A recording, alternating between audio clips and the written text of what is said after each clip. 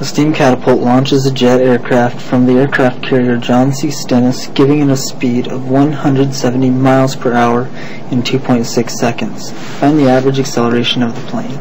So what we have here is it's given us the final velocity. It's given it in terms of miles per hour. It's 170 uh, miles per hour, and it's given us the um, final uh, the final time which is 2.6 seconds. 2.6 seconds. We want to convert this into meters per second. That's what I'm going to do rather quickly. 170, 170 miles over one hour. And I can multiply that by 5,280 feet in one mile. That cancels out the miles. Then I can multiply that by 12 inches in one foot. That cancels out the feet. I can multiply that by 2.54 centimeters per inch. That cancels out the inches.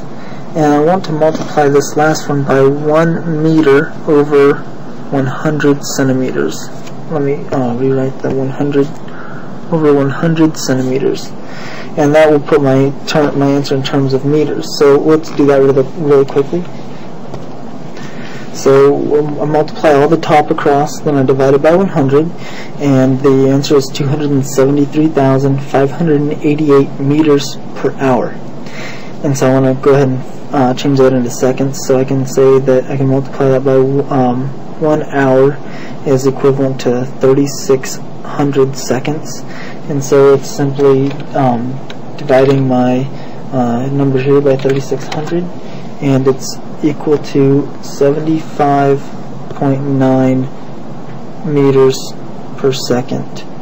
75.9 meters per second is my final velocity. So I come back here and I write this in as 75.9. It's really 75.99, so close to 76 that we might as well just call it 76 meters per second. Now we can find out the acceleration because acceleration, and that's a horrible acceleration um, vector quantity, of course. Acceleration is uh, v final minus v initial divided by time. And so I know my final velocity, which is uh, 75.9 or 76. We'll just say 76. It's 76 meters per second. And, I, and uh, I know that the v initial started at a zero point, and my change in time is 2.6 seconds.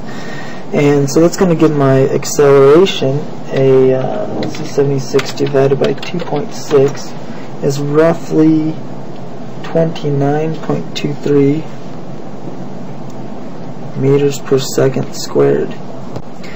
Now the second part of the question says, assuming the acceleration is constant, find the distance the plane moves. So we know that our acceleration is 29.23. Our time is 2.6 seconds. So we're going to take that and we're going to say um, acceleration equals 29.23 time equals 2.6 seconds and we're going to uh, set up a formula so the distance, the displacement equals um, one half of acceleration times time squared. So that means that we want to take 29.23 times 2.6 squared divided by 2 should equal the distance traveled. The number um, 2.6 squared is roughly um, 6 times 2.6 is 6.67 6.67 and that times 29.23 divided by 2 equals 98.8 so 98.8 meters is going to be units